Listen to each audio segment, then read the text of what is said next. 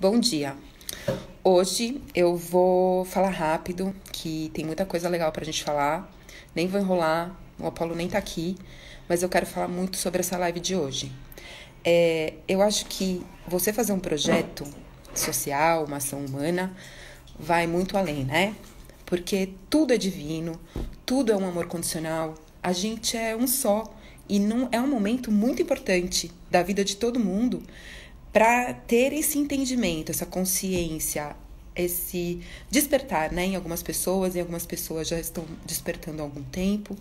Então, assim, hoje o Leandro, que é meu mestre, meu orientador, meu sábio, ele, ele é uma pessoa que realmente transformou a minha vida. Por isso que eu convidei ele e eu quero que ele transforme a vida de muitas pessoas e que a gente vá transformando a vida um do outro para um bem maior, né? Que é andar no bem, que compartilhar, porque só tem um sentido nessa vida, né? Que é o descobrir o nosso talento, o nosso dom, o, o nosso propósito de estar aqui e compartilhar com as pessoas, né? Então é a gente ter esse entendimento maior do nosso ser, do que a gente é. Bom dia, mãe. E a gente não tem facilidade. A gente tem facilidade zero nesse mundo. A gente tem que ter coragem. Então, a gente foi atacado, bom dia, Jé, por um controle é, mental imposto pelo medo, né? E o que está acontecendo? Tipo, tá abalando realmente todo mundo, né? Muito além do que a gente acreditava. Então, o que, que as pessoas estão fazendo? Elas estão meditando, elas estão compartilhando. Mas, assim, o compartilhar vai além de uma doação material.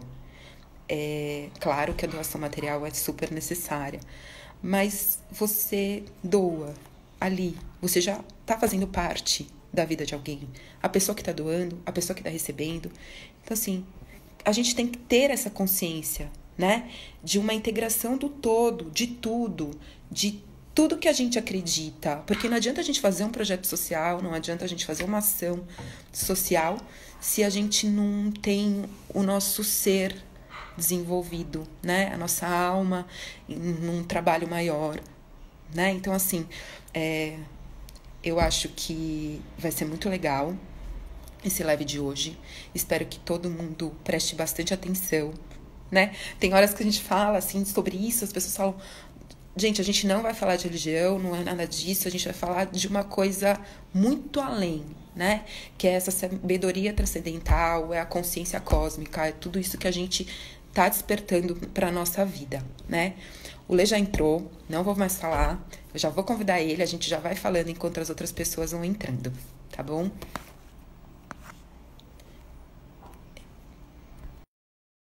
esperar ela entrar. Que a gente tem muita coisa boa para falar. E eu estou muito, muito feliz de ele estar tá participando dessa live. Bom dia. E aí, Mi? Tudo bem? Bom dia. E a... Vamos que vamos, né? vamos que vamos. Vamos tomar um café. Vamos. Dá para me enxergar aí ou tá meio bagunçado? Tá bom, tá ótimo. Essa tá qualidade, minha, no meu também tem, não tem como, né? Ter essa qualidade. Bem-vindo a todos, obrigado pelo convite. Tomar um cafezinho. é muito importante para nós, assim, tá? Eu estava falando até antes que você é uma pessoa que é meu mentor, meu, meu mestre, meu monte de coisa. Não tenho nem o que falar. Que você até mudou Imagina. aí de uns tempos para cá, minha vida mesmo. Então, acho que é legal compartilhar isso com todo mundo. Que eu até abri o livrinho Haja Luz, hoje, agora há pouco, e eu vou ler para todo mundo, que eu tenho costumado ler essa mensagem. E deu bem isso. Você é uma alma vestida. Capriche no modelo. Use apenas o amor, o carinho e o bem como trajes. Então, eu acho que assim, hoje, eu estava até falando que a gente não vai falar só dos projetos sociais, a gente vai falar, não só de ação humana, mas do que vai além de tudo isso, né, Lê? Então, eu gostaria que você se apresentasse, que você. Eu tô aqui, ó. Você toca a bola que eu vou indo. Vamos junto. Imagina-me. Eu só tenho a agradecer mais uma vez, né? É... Que a gente vem falando bastante, a gente se conheceu em faz pouco tempo, né? Não faz muito tempo, mas é, é uma amizade que se consolida, que a gente vem fazendo alguns alguns ajustes aí em ambas as partes, tanto na sua quanto na minha. E isso vai reverberar para muita coisa, né? Vai reverberar para é, para todos os, os projetos é, humanos que você faz, que eu faço, e trazendo alegria, né? Que é isso que importa. Exatamente. Porque toda toda toda forma de, de ajudar ela tem tem alegria. E todo mundo é, tem que receber isso com um bom grado né? É isso que esperamos que aconteça em breve. Em breve muito em breve. Enquanto isso a gente tem alegria de algumas outras formas né? Vamos aqui falando. É sem dúvida com certeza Leia, eu queria que você falasse do seu trabalho, primeiramente, o que você faz, o que um pouco da sua história, para aí a gente seguir falando do que tem que falar mesmo. Ah, minha história para todo mundo saber é meio maluca, ah! né? Eu é tudo é meio bagunçado, mas ao mesmo tempo é movido de fases, né? Como é o, o é, a vida do ser humano, né? A gente está, eu falo sempre que a gente está no estado humano, somos muito maiores do que somos hoje. Né? A gente está aqui num processo pequeno de ajuste, de carregar algumas pessoas juntas para que elas evoluam e a gente também. Então, a escolha de muita gente é, maior do que a gente, de estar tá no nosso lado, presente, de estar tá convivendo com a gente, com, os nossos, com as nossas qualidades e, e as nossas dificuldades faz a diferença, né? Com certeza. Eu venho de uma família, é, eu venho de uma família católica, né? Meu pai era católico, minha mãe era é, católica, depois se transformou em evangélica. E eu sempre do lado diferente disso tudo, né? Sempre do lado da espiritualidade, do lado da, da, de visualizar né, quem estava brincando comigo, quem estava convivendo comigo, e isso vem até hoje. Mas passei algumas fases aí, trabalhei em alguns lugares, hoje eu sou terapeuta, né, sou formado em massoterapia, vai fazer seis anos, mas eu me especializei na terapia holística, que é trabalhar com o campo energético, trabalhar com, com a mente, com o espiritual e ajustando o corpo. Isso é o que eu me adaptei, eu realmente me fundi nisso de seis anos para cá. E isso me fez crescer muito como ser humano. É, mudei muito a visão de algumas situações pontuais, que isso me trouxe é, outros ganhos, né? Porque não é só o ganho financeiro que o terapeuta visa. O terapeuta visa sim o ganho financeiro, né? Mas além disso, ele ganha ele ganha a alma junto com ele. Depois que ele começa a tratar, que ele começa a, conviver, a curar, começa a, a curar, a se curar, né? Porque eu digo e é fato. Quando você atende alguém, quando você recebe alguém para é, na prime no primeiro atendimento, no decorrer do atendimento, você vai interagindo com ele e acaba se curando também, junto com as feridas deles. Né? Então, hoje eu vejo isso com um, a real missão que tenho. Né, Lê? Eu estava até falando disso no, no começo. Gente, eu tô com incenso aqui. o sentido da vida é o que a gente é descobrir o nosso talento, né? É o nosso dom, é e a gente compartilhar isso. Esse eu acho que é o maior sentido da nossa vida, a nossa maior missão. Então, assim, quando a gente já sabe o porquê, né, o propósito da gente estar tá fazendo o que a gente está fazendo, eu acho que a gente vai além, né? Eu acho que é uma descoberta que é além da nossa consciência, é, é uma, uma consciência cósmica, eu estava até falando, né? Tem muita gente falando sobre isso, tem muita gente. Hoje em dia você vê tanta gente que está meditando. que tá. Então, assim, como que a gente vai fazer? Não só nos projetos sociais, né? Porque hoje em dia os projetos sociais e as ações humanas estão juntas, e não só hoje, sempre foi assim, é que hoje está descarado, né? Tá todo mundo aqui falando é. isso. O que, o que a gente vê no lado da espiritualidade, é, a gente que trabalha com isso há muito tempo já, é, vemos os, é, uma situação muito agradável. Por quê? O que fazíamos antes e éramos é, taxados e às vezes até excluídos da, de alguma situação social, isso vai se tornar uma necessidade é, momentânea e ao mesmo tempo expansiva para o restante da nossa passagem.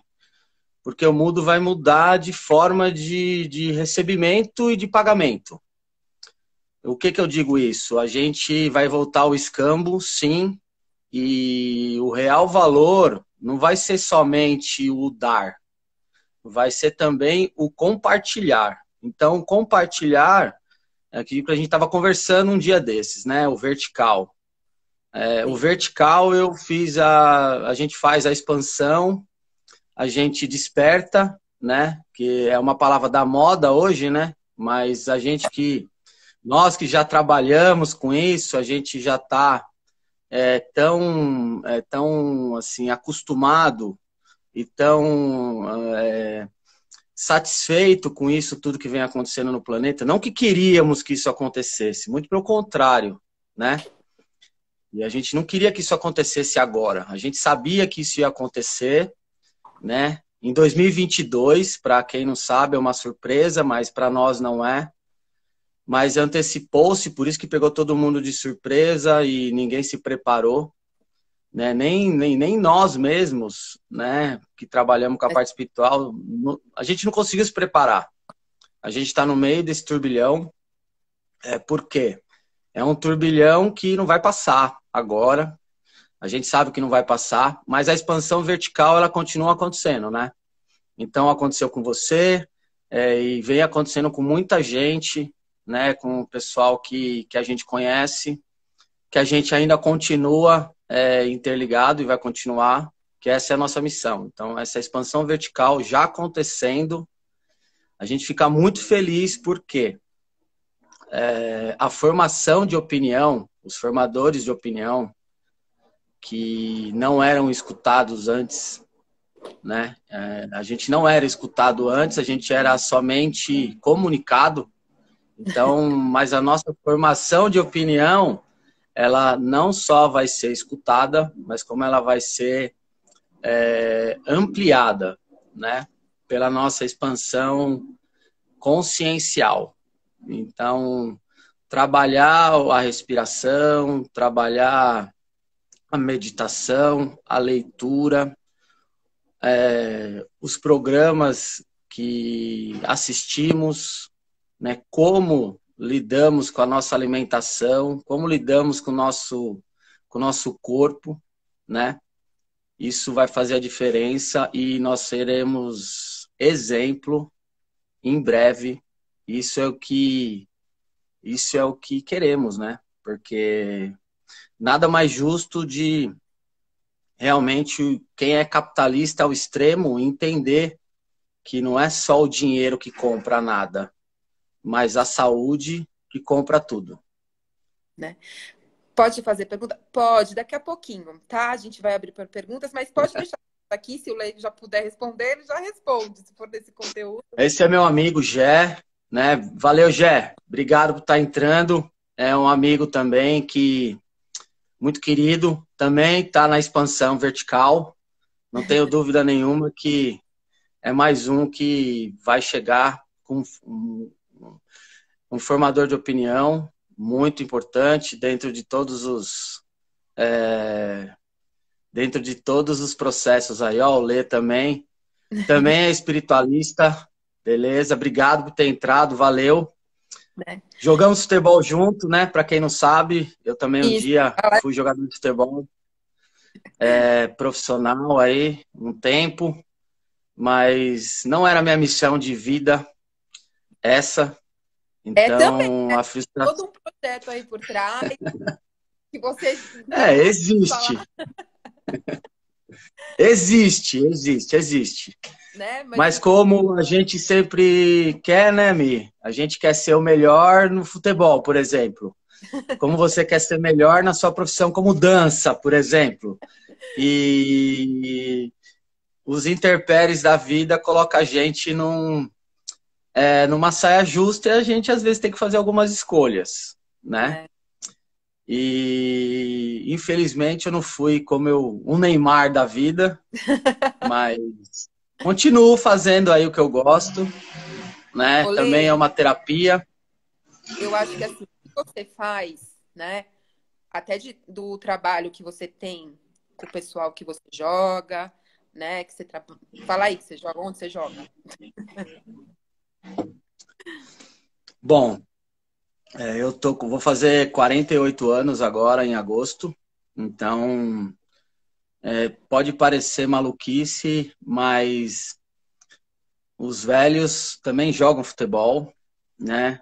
Tem mu gente muito mais velha que joga que joga que joga futebol com a gente de 50, 55, 60, 65 e eles se tornam exemplos para nós, né? Se tornam exemplos para nós e, e é importante porque a gente faz um trabalho social dentro disso, né?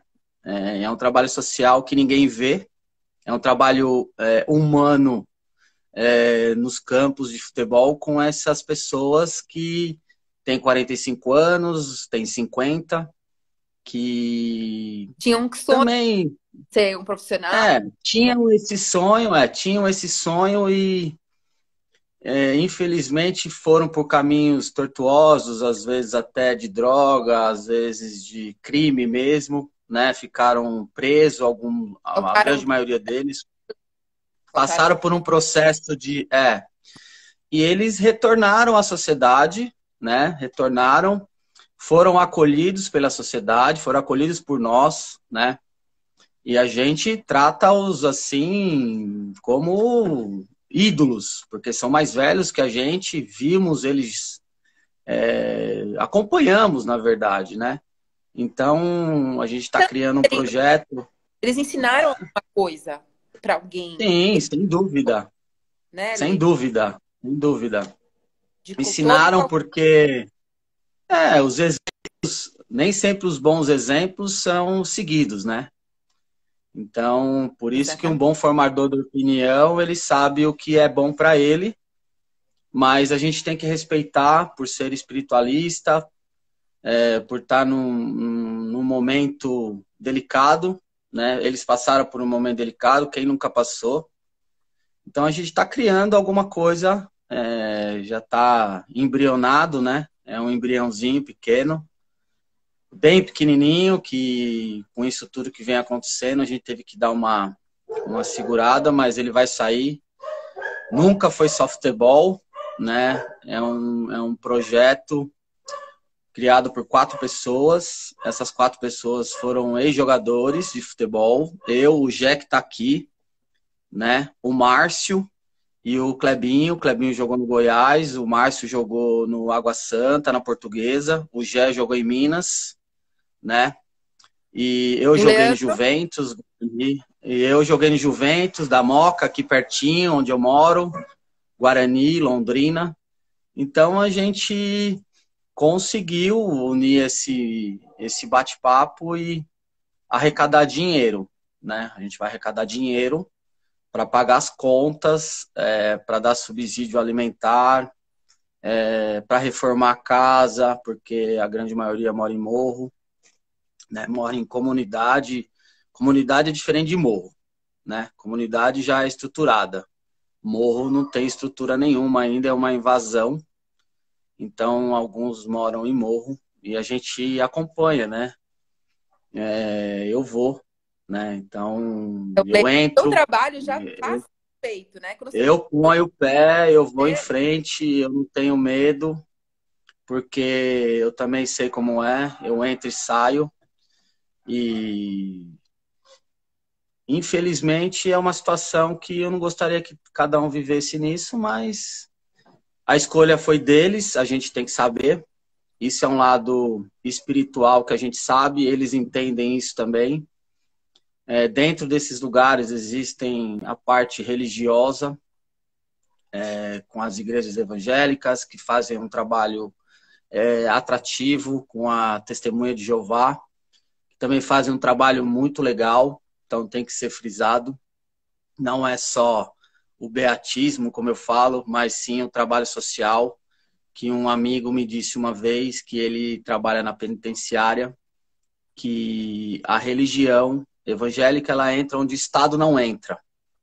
E aquilo ficou dentro da minha, da minha mente, reverberando, e eu não entendia muito bem isso. Quando a gente entra numa comunidade ou no morro, a gente entende isso na real.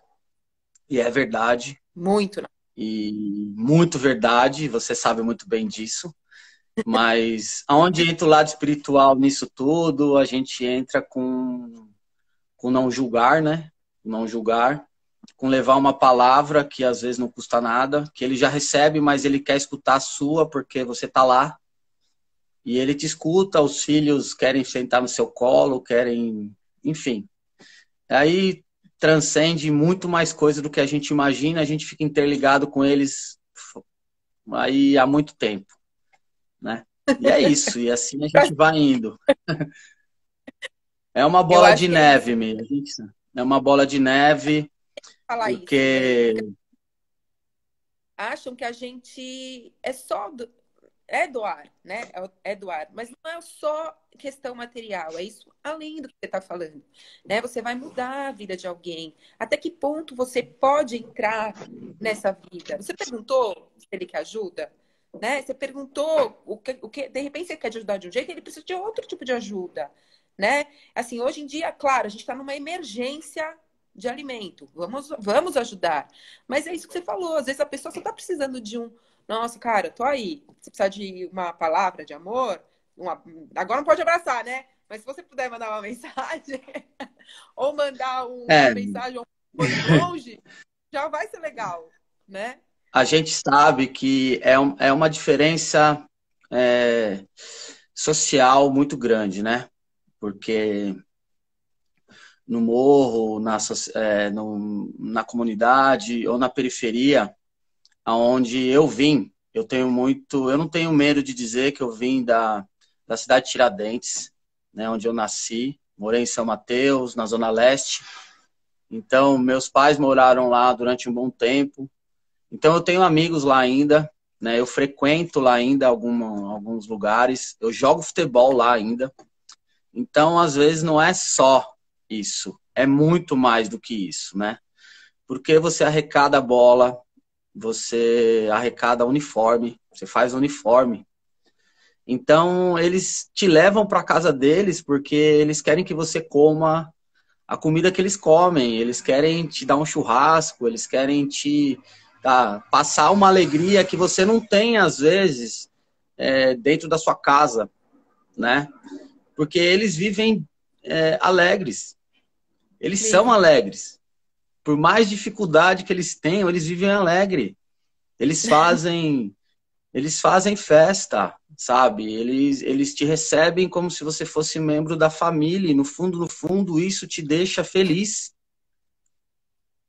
Entende? É então, uma troca, né? Você é uma... É, é uma troca. Porque você não tem isso, às vezes, na sua, no seu dia a dia. E eles têm isso no dia a dia deles, porque é uma é porta grudada na outra. Né? É, uma porta grudada na outra, e você vai passando e você vai conversando.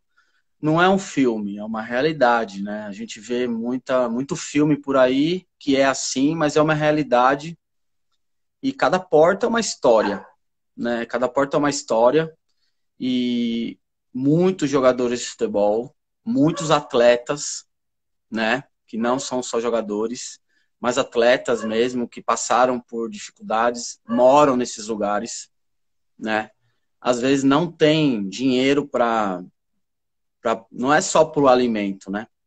Mas sim para às vezes para ir para o jogo de futebol, Então, o projeto é esse: é você subsidiar o sonho e, e eles estarem junto com a gente.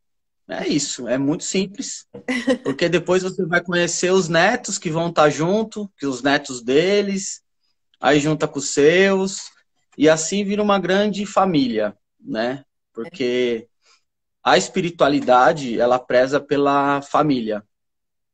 Ela preza pela família. E a família, ela não precisa ser de sangue, ela pode ser de todos os sentidos, né? Inclusive, ela pode ser um animal, ela pode ser uma planta, ela pode ser, ela pode ser aquela aquela afinidade que você tem com aquela pessoa que passa todo dia na tua rua. Então, ela se torna uma família e você é, afin, afinou-se com ela, você quer conversar com ela a todo momento, você quer saber como ela tá, né? É um adotar, né? Que é. a gente fala que é, o adotar. A gente é adotado por gente, alguém. O Apolo não ia participar, mas ele está desesperado aqui. A gente é adotado por alguém, né? E uma hora a gente adota. É assim. É. Essa é a, é, é, a lei, né? Você e... mesmo que os afins se atraem, né? E que os afins de, do bem vão, vão se juntando, vamos e a gente vai sendo melhor a cada dia, né? Então, isso foi uma coisa vai. que eu fiquei super refletindo, que é isso da família mesmo, né? Tem muita gente que fala, ah, eu não tenho, eu não tenho família. Mas tem, a gente sempre tem alguém, né? Isso até para mim tem sido muito forte de muitas coisas que eu tenho aprendido até com você mesmo. então, eu acho que o nosso maior, nossa maior ação humana nesse mundo é realmente a gente tentar fazer o bem do jeito que a gente puder pelo, por, por todos, porque aquele que você fez o bem ali vai fazer o bem para aquele outro, que ele vai lembrar de você, né, Lê? A gente já falou disso. É, é a expansão vertical, né? Exatamente, né? Existe a expansão vertical que a gente faz como terapeuta, né? Voltando, eu fiz com você, por exemplo, fiz com outras pessoas. O atendimento chamado trididencial, ele veio da espiritualidade é, para mim como um presente, como uma missão grande, e eu não tive dúvida de aceitar, sabendo que depois disso, da expansão vertical com cada atendente, com cada pessoa que eu atenderia, eu ia ficar interligado com ela na expansão horizontal dela, né? Então, é você... a Carol falando que a... ela também. Né? Que o espiritual é o vertical, né? É o vertical. O horizontal são suas atitudes na vida. Exato, exato. O, o vertical é a expansão espiritual que todos nós temos que ter, independente da nossa religiosidade, né? de quem somos e para que somos, não importa. Quando a gente tem essa expansão, quando temos essa expansão transcendental, é, de meditação, de fazer o bem, de apoiar o próximo, isso já é uma expansão grande de só falar a verdade, de não reclamar, né? de entender que o momento é, é para todos, não é único, mas esse para todos ele tem que ser individual primeiro é uma polêmica, mas o, o individual, primeiro, ele, ele traz uma segurança para que depois possamos expansão é, vertical, né? Depois horizontal. Então, a expansão horizontal, ela é assim, ela é as nossas atitudes. E essas nossas atitudes, quanto mais a gente ajuda, mais a gente expande e esse é, o, é, o, é a grande sacada do milênio, né? a expansão vertical. E essa consciência interiorizada, né, Lê? Porque assim, a gente tá vendo realmente, né? A gente fica até pensando, nossa, né? Todo mundo tá se interiorizando, todo mundo tá dentro de casa. E quando o negócio começar a não voltar normal, mas quando as coisas começarem a andar, né? As coisas começar, as pessoas começarem a voltar à nossa rotina um pouco diferente, mas voltarem a uma rotina, né? Valeu a pena essa, essa todo esse tempo que você ficou se interiorizando? Foi para sua consciência? Foi você fez todas essas ações maravilhosas, todas essas doações que muitas pessoas foram atingidas. E agora, né? E, e como vai ser a expansão horizontal? Como vai continuar? Como vão continuar as suas atitudes? Então assim, você interiorizou, então, você realmente se conscientizou. Exato. Por isso que nós, como formadores de opinião, a gente vai ter que manter esse, essa conduta, né? Mais ainda, porque quem não é assim e vai ser o primeiro a te cobrar. Ele vai ser o primeiro a tirar pedra em você, falando assim, ó, você disse que era assim, e por que que você não faz?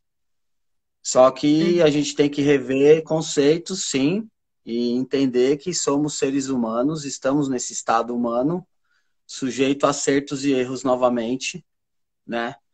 Por isso que o não julgar ele já nos torna na expansão vertical, né? E a expansão vertical, ela é espiritual e o não julgar já faz parte disso na nossa índole. Se a nossa índole ela for saudável, ela for agradável e por mais que não passamos por momentos bons, a nossa índole for boa, a gente não vai é, agredir ou revidar, né?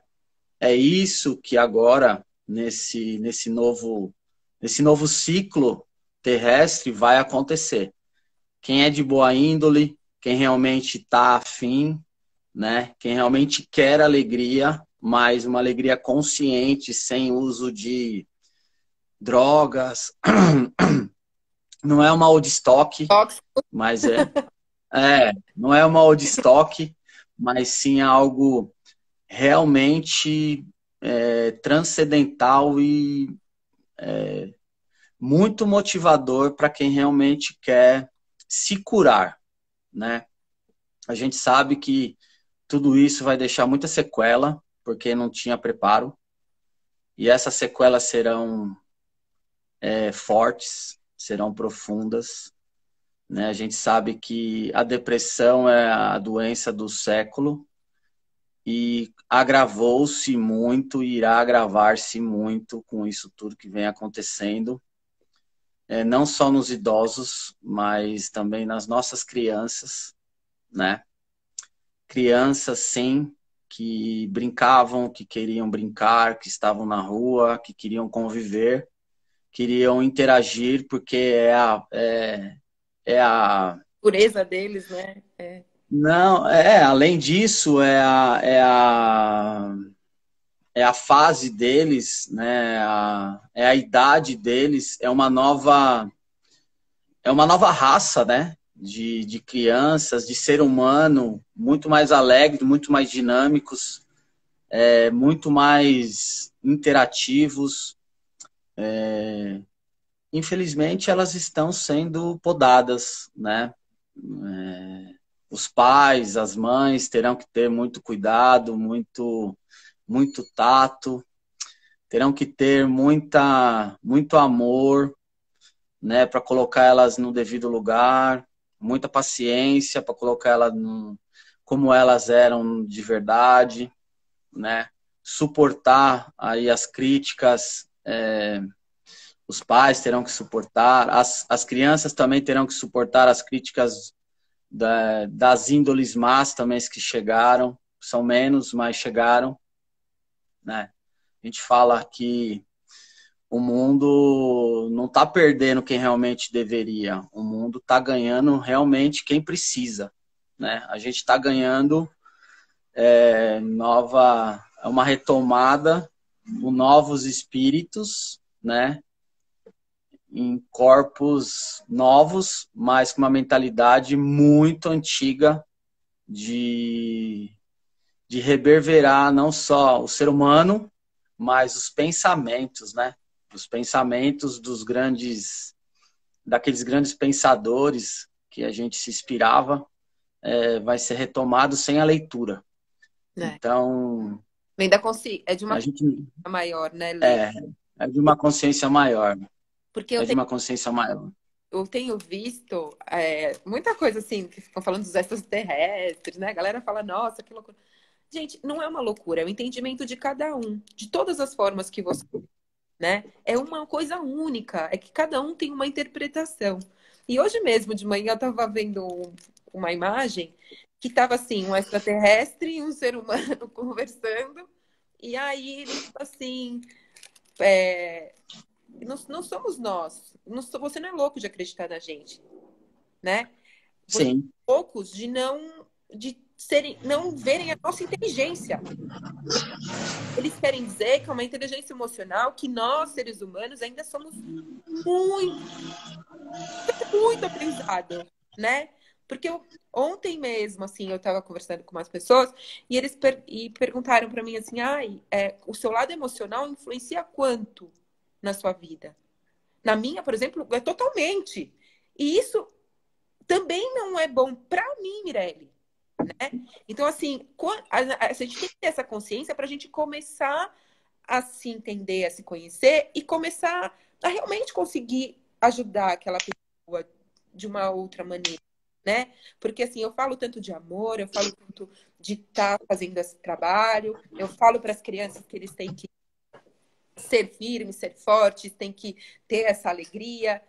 E agora, realmente, eu tenho falado com eles é, online e eles realmente estão tristes. Eles realmente não aguentam mais ficar sem brincar na rua, né? Eles me ligam 24 horas no telefone. E eu fico rindo, porque não, né? E às vezes eu não tô legal. E às vezes eu tenho que rir mesmo assim. Né? Então, assim, é um que é, as próprias crianças trabalham a gente. Então, realmente, a gente tem que trabalhar o ser criança como uma inteligência pura para ser desenvolvida, né, Lê?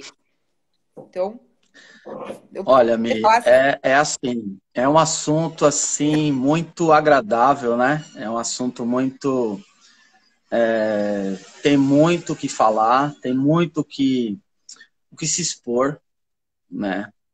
E cada vez mais terão pessoas que já falam sobre isso, na verdade, né? Sempre falaram sobre isso, eu sou uma delas. Sempre falamos sobre isso e a gente era sempre discriminado. Mas não, não a questão de discriminação, ela não vem é, às vezes de você e nem do outro. Ela vem do que realmente o que você acredita naquele momento, é. né? Então, é, o emocional mexe com a gente, sim, muito, bastante. Eu sei que minha filha está escutando, eu vi ela entrando aí. E ela passou por um processo muito difícil. Isso emocionalmente mexeu com toda, com toda a nossa família, né?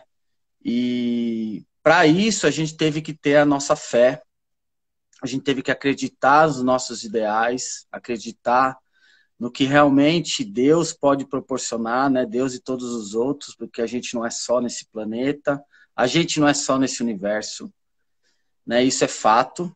Não existe, não existe só a gente como ser humano.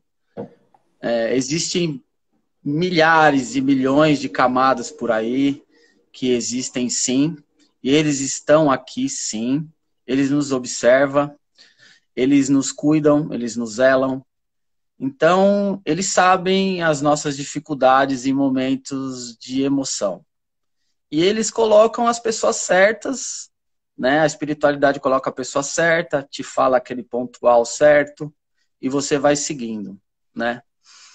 Quando você tem uma doença é, que ela já chega no corpo, como um câncer, ele já passou pelo espiritual, né? Já passou pelo perispírito, que a gente fala. E isso é um combinado, né? Um combinado de evolução daquele ser né?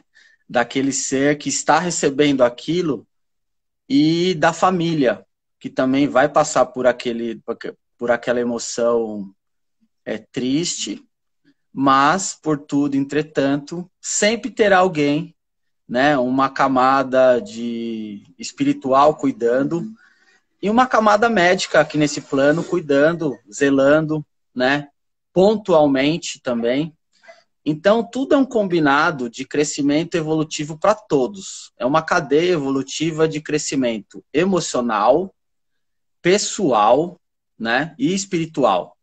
É uma cadeia. Então, todo mundo fala, mas Leandro do céu, mas por que você está dizendo isso? E eu falo isso sempre para as pessoas, independente do que elas querem ser ou não. Se você estiver bem é, com você mesmo, estiver centrado com você mesmo, você tem 70% de chance de emocionalmente não se abalar. Agora, se você não estiver pronto, é, expectativa naquilo e coloque muito dentro daquilo, você tem 100% de emocionalmente se abalar. Então, não é ser frio, é confiar. Né? É confiar na providência divina, é confiar no que você está escutando, é confiar no médico que te atende, né? Que ele estudou para aquilo, né? Que ele se formou para aquilo, que ele já tem uma experiência naquilo, que ele já passou por aquilo, então ele pode te, é, ele pode te apagar, né? Ele pode simplesmente te consolar. Ele pode também é, dizer para você assim, ó, vai passar né? Vai passar. Então, tudo isso é uma cadeia, porque a função dele é aquela. A sua função no momento é triste, mas depois você vê que você vai vencer. Então, isso nos torna cada vez mais forte, cada vez mais espiritualizado, cada vez mais centrado. É. Isso não é uma expansão vertical, é uma expansão horizontal, né? Porque você tem que carregar, tem que ser carregado, tem hora. E porque um dia eu fui carregado também, né? Então, quando criança, quando adolescente. Então, tudo isso a gente vai no decorrer do tempo entendendo, é, melhorando, né? E depois que a gente consegue a cura, é, como minha filha conseguiu a cura do câncer, a gente se cura junto e a gente vê outras possibilidades, né? Como a gente vem fazendo, que é doar sangue para pessoas que a gente nem sabe. Então, você se coloca num propósito, né? Esse propósito também é uma expansão é, horizontal. Então, isso vai uma cadeia, vai indo assim muito. Né, Lê? O propósito tem esse um sentido. Eu acho que é tudo junto, né? As pessoas Sim. Tudo é um projeto. O projeto social é só um ponto do que a gente tem que levar para nossa vida todos os dias, principalmente numa doença tão grave. Né? E vocês tiveram uma coisa, uma cura tão maravilhosa, que vocês fizeram um trabalho, claro, dos médicos, mas teve toda uma força espiritual junto, foram todos juntos trabalhando, e principalmente a sua filha, que teve uma força gigante, que, né, que teve a fé, que teve, que, teve essa alegria dentro dela de querer viver. Então, acho que eu tenho também o exemplo da minha mãe, que há 15 anos a minha mãe também não foi um tumor, que não foi câncer, mas foi um tumor super grave, que muita gente sabe, e que há anos a gente também vem trabalhando isso, o amor, o vamos em frente, vamos ser felizes, vamos alegre. E não é você estar tá passando por cima como uma fuga, não, é você acreditando, tendo a fé e eu tive há pouco tempo de novo, a minha mãe teve, cai, ela caiu um pouco de saúde, e dessa vez eu achei que ela não fosse mais. Por quê? Porque ela perdeu a alegria. Então eu olhava para ela e falava, mãe, a, uma, a maior parte você está deixando de lado. E ela foi lá no fundo dela mesmo, porque não era eu, não era o fisioterapeuta, não era que, claro, todos nós juntos, como você disse, os médicos têm os seus ensinamentos, eles têm todo o aprendizado conhecimento de um médico, ele trabalha o corpo humano. Mas e quem trabalha as nossas emoções? Nós e a espiritualidade, né? Eu tive uma Sim. força gigante eu, da espiritualidade para passar isso que eu passei com a minha própria mãe. Então, assim, é muito assim, você com a sua filha. Então, gente, é muito forte. A gente não tem como não falar, não, foi uma co foi qualquer coisa. Não foi. Né? É trabalho junto mesmo, essa consciência, as pessoas têm que se interiorizar, ainda mais nesse momento. Tem a pandemia? Tem. Tá, tá. Né? Mas o quanto que a gente está sendo atacado pelo medo. Que também é o quê? Uma emoção. O quanto a gente vem tacado todos os dias, é medo, eu mesmo, tenho umas paranoias aí da limpeza. Então, assim, o quanto a gente vem sendo atacado. E o quanto, o que, que a gente vai fazer para o nosso mental, né? E que o nosso mental é trabalhado pelo medo. Então, assim, realmente a gente tem que cada vez mais expandir horizontal com vertical e ir embora, né? Então, acho que isso, para o pro propósito social de um projeto, de você ajudar, é da vida. É o sentido da vida, né? Não tem outro, não tem outro propósito maior que esse. É o sentido da nossa é, própria não vida. Tem. Não tem. Porque você faz trabalho. A vida é uma dádiva. Para mim também é natural. E seja natural para muitas é. pessoas, né? Então, assim, Lê, eu, eu queria que você também falasse do Doutor Bagunça. Ah, Doutor Bagunça, ele nasceu é uma ideia. É, eu, eu trabalhei CLT, né? Fui bancário, fui gerente de banco durante 15 anos. E era uma vida louca, né? Não tinha vida, não tinha nada. A única coisa que eu tinha que fazer, eu chegava em casa, ia meditar e trabalhar a espiritualidade, meditando, respirando. Não tinha tempo, não tinha vida. E comecei a perceber que minha vida estava esvaindo em 2008 e eu simplesmente tomei uma decisão de trocar o capitalismo, né, de um salário altíssimo, de quase 15 mil reais, não tenho medo de falar, por um desemprego, né? E fiz um acordo com o banco, o banco não queria me mandar embora, Aí eu falei, eu preciso ser mandado embora que eu vou ter um treco aqui e realmente aconteceu. Quase desfaleci, né? Na verdade eu desfaleci, fiquei internado durante é, 15 dias, né? Fala, Léo, beleza? Bom te ver. Ó, e aí fiquei internado durante 15 dias. Quando eu retornei, fiquei entubado, tudo. E depois disso, falei, eu quero ir embora, eu preciso sair, preciso ver alguma coisa. E o Doutor Bagunça nasceu em 2010, quando eu saí do banco. O que, que era o Doutor Bagunça? O Doutor Bagunça era você fazer um anúncio, um panfleto e bater nas casas, colocar no, nas casas dizendo se você tinha alguma coisa que, algum móvel, algum brinquedo, é, um guarda-roupa, uma mesa, enfim, alguma coisa que você não queria, estava lá jogada eu compraria ele de você, né? Eu pagaria por isso, não era nada de graça, né? Eu pagaria lá numa mesa que custava 500 reais, eu pagaria 100, levava ela embora, reformava e vendia. Esse era o Doutor Bagunça, né? Só que isso não deu certo, porque Aquela eu... época. É, não deu certo. Por que, que não deu certo? Porque eu pagava muito e vendia por pouco né? Eu, eu não visava o lucro do negócio. Eu queria mais era trabalhar, eu queria mais era. E hoje é a mesma coisa, né? Aí o Doutor Bagunça não deu certo, ficou 2010, 2011. Aí eu juntei muita coisa e no fundo, no fundo, eu doava. A maioria dessa para casa André Luiz, né? Porque demorava muito para vender e eu não, na verdade, eu não queria aquilo, né? Eu queria, na verdade, era ajudar alguém, eu ajudava a Casa André Luiz, foi doando até. É, se fosse hoje eu tava milionário mesmo, viu, Léo? Mas não é o processo.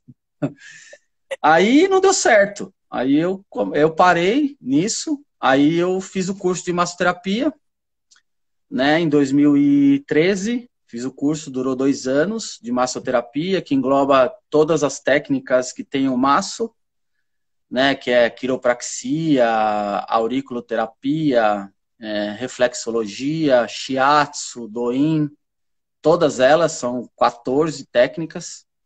Durou dois anos esse curso, é um ano de teoria e um ano de prática. Aí em 2014, na Fala Batata, ó, quem tá aí também, ó. E em 2014, eu montei um espaço terapêutico chamado Espaço Elementares, que ele existe até hoje, né? Mas também não foi visando lucro, foi visando trabalhar com as terapias, né? Isso deu muito certo, 2014, 2015, 2016. E 2017 eu praticamente mudei tudo, fechei o espaço terapêutico, né? É, e comecei a trabalhar na garagem, onde eu tenho aqui mesmo, é, em casa. Montei o espaço terapêutico na garagem, só com uma maca e a decoração. E faço atendimento só é, só do tridencial, né? E de constelação, quando precisa, entendeu? Quando necessita, é. Quando necessita, que também sou constelador. Então, a gente, como terapeuta holístico, a gente estuda muito, lê muito, né? É, justamente para quando alguém como você me chega na nossa frente, que é gigante, muito grande, né? A Carol também que está falando aí que é gigante, muito grande. Vocês não têm noção do tamanho de vocês, né? Não tem noção. Vocês não têm noção. As pessoas é, não tem noção do tamanho. Né? Então vocês veem miúda, vocês veem assim, sabe, é encolhida, é muito triste, muito chateada. Então, quando a gente faz essa expansão, começa a despertar em vocês com as palavras pontuais, chaves, né? Que a espiritualidade nos passa, que a gente tenha a, aquele, aquele insights, né, que todo mundo fala que no fundo, no fundo não é insight, é algo que já está pronto para você e você é um interlocutor. Eu falo que eu sou um interlocutor, né? E só vou transpassando as palavras e vai despertando essa gigante que são vocês, que é você, que é a Carol, que, a que é a G que está aqui, que é a Bia, são, são gigantes, vocês são gigantes em tudo que fazem. Então, isso, sabe, é um orgulho para nós ver. Para que a gente, quando a gente enxerga e vocês não, né? Então, quando a gente enxerga o tamanho, é, aquele tamanho gigante, a gente fica olhando assim, falando, como é que pode, né? Chegar nessa, nessa, nesse caramujo tão pequenininho assim, né? Então foi onde eu me encontrei nessa terapia, né? Nessas terapias, porque é algo que, sabe, faz com que você consiga é, colocar as pessoas no devido lugar delas, né? Na grandeza delas, na, na interiori, né? interiorização delas, é, não só nos projetos dela, mas sim para a vida dela, e aquilo não tem preço para um terapeuta, né? Não tem preço para nós. Porque é muito bom você ver um, um expandir de uma pessoa que já é grande, né? Muito grande, e ela expande e começa a ficar gigante, sabe? Isso é muito bom. Ela se aguenta. É, não, não tem preço. Isso não tem preço, porque as pessoas falam assim: Leandro, mas você não ganha dinheiro com isso. Realmente eu não ganho dinheiro com isso. E eu falo, falo para todo mundo. O Léo tá aí, o Jé tá aqui. Todo mundo pergunta, Leandro, você não ganha dinheiro com isso? Eu falo, eu não ganho dinheiro com isso. Eu troco dinheiro com isso. É diferente, né? Então, é eu sei que... que se conscientizar um pouco agora e daqui para frente, né, Lê? Não é que agora. É então, eu não, eu não faço de graça. Eu não faço de graça. Mas eu sei o tamanho e a necessidade que a pessoa precisa naquele momento. Então eu não vou deixar de fazer. Sabe? Eu nunca vou deixar de fazer algo por dinheiro. Jamais vou fazer isso. Então, você chegou aqui sem dinheiro. A Carol chegou sem dinheiro. O Gé sem dinheiro. E eu não deixei de atendê-los, e não deixo de fazer. Por quê? Porque é algo maior, vocês são gigantes, é muito grande. Então, como é que eu posso ter uma como é que eu posso ter uma uma uma oportunidade dessa assim, na minha frente e falar assim: "Não, eu não quero isso. Eu não posso fazer isso". É uma responsabilidade muito grande. Todo mundo faz isso. Mas eu não. É, Todo mundo faz isso. Eu acho assim. É, Todo mundo faz. Cinco minutos, tô me dando desespero, que eu já queria ficar aqui mais tempo. Foi muito rápido, falei? Saco. O seu amigo fez uma pergunta lá no começo. Deixa eu ver aqui. O Gé? Nem vai dar tempo. É, dos livros. Fala! Ele falou alguma Fala, coisa. Dani, beleza? Quando você Preciso falar diz... com você, viu? Ó, ele perguntou assim, Lê, quando você diz leitura, peço até desculpas, Lê, porque eu sou meio leigo, mas muito curioso. Me conhece, já sabe que você falou leitura, que você deu várias dicas assim que as pessoas têm que. Ele falou isso. Sim, é, a gente tem que ler, a gente tem que ler aquilo que nos interessa, né? E o que nos interessa? Que momento que a gente está? Momento de introspecção. Essa introspecção ela não pode mais existir, senão a gente vai entrar em depressão. A gente tem que escutar música alegre. A gente tem que escutar música alegre, a gente tem que se movimentar dentro de casa. A gente tem que dançar. A gente tem que dar risada sozinho. A gente tem que limpar a sua casa. Mas, no fundo, no fundo, a nossa leitura hoje não vai existir. Você tem que escutar primeiro. Escutar é nos escutar. Então, uma boa música a gente faz nos escutar. É o que eu faço.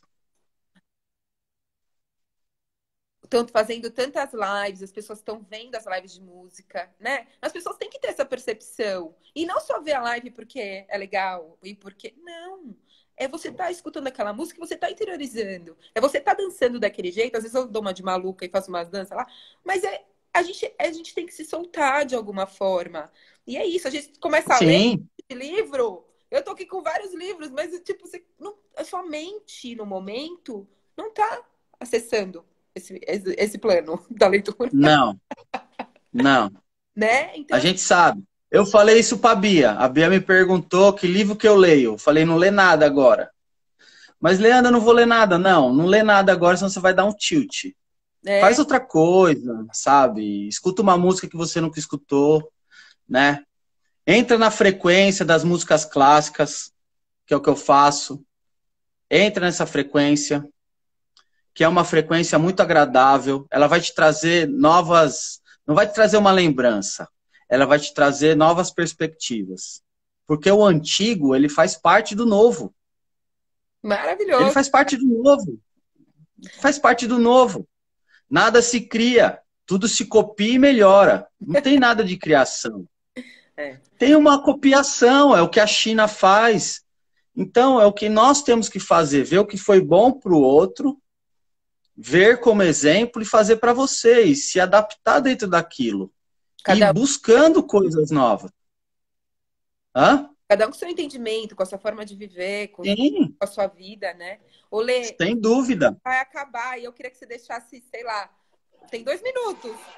É, uma mensagem para as pessoas e aí a gente vai ter que acabar. Tem um minuto. Mi, só tenho a agradecer. Obrigado. Também. Obrigado por você. Né? Sucesso no seu no seu projeto, no seu nas suas Nosso, na sua caminhada. Nosso, não vai é. tá fugindo aqui. Sucesso, sucesso de verdade, né? Para nós. E que todos nós possamos ter a empatia futura. Exatamente. Né? Empatia e estar tá disposto. Porque estar disposto. Está disposto, né, Leite? Hum, é, tem que estar tá disposto. Vai ter que estar tá disposto a pôr a mão na massa. É. E pôr a mão na massa é a empatia de não saber com quem você vai lidar. Esse é um recado, entendeu? Porque tá, tá, a, gente, a gente que trabalha, é, a gente que trabalha na espiritualidade, a gente não escolhe. A gente não escolhe. A gente não escolhe. A gente aquele momento que você tá que você tá ali, você pode vir qualquer coisa e você tem que estar tá pronto, empático, é, disposto, alegre, Lê, entender. Vou ter que te cortar. Entender. Não vou conseguir salvar aqui. Tchau. segundos. Beijo, obrigada, gente. Beijo. Até mais. Obrigada, Lê.